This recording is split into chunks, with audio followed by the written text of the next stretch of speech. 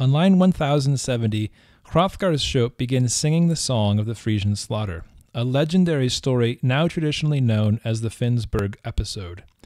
For first time readers, the details of the story are difficult to understand, which probably means that the poet's audience was familiar enough with the story to understand the scop's oblique retelling.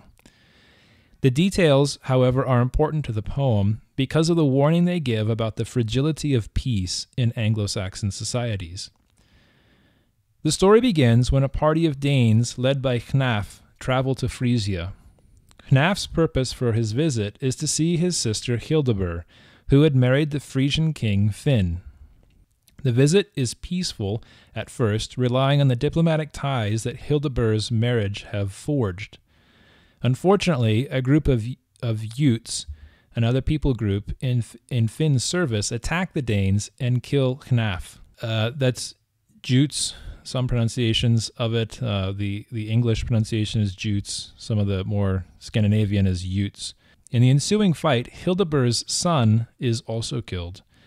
Finally, a truce is called, but since winter has come upon them, the Danes must remain with the Frisians. They cannot return home. And Finn gives their new leader Hengist a hall and treats them as the same as his, treats them the same as his own men until they can return home. This action on Finn's part indicates his sincere attempts to reforge the peace that had been broken. He's trying to repair the damage that the Jutes have done.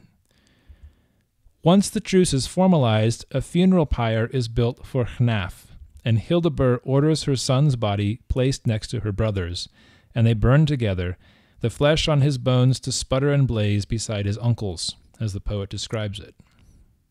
The Danes spend the whole resentful, blood sullen winter with Finn, homesick and helpless. When spring comes, the Danes long for home, but long even more for vengeance. When one of the when one of his men places a sword on on Hengist's lap as a reminder of his duty to exact vengeance, he doesn't hesitate to attack the Frisians.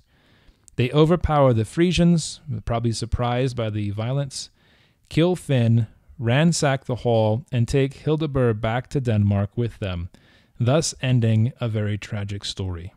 The scop's retelling of this story takes great pains to emphasize Hildebur's grief since her loss is the greatest.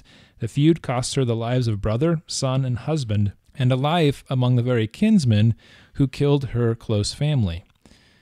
As a whole, this story underscores the constant danger of bloodshed erupting in the Comitatus, in spite of the best effort taken to maintain peace.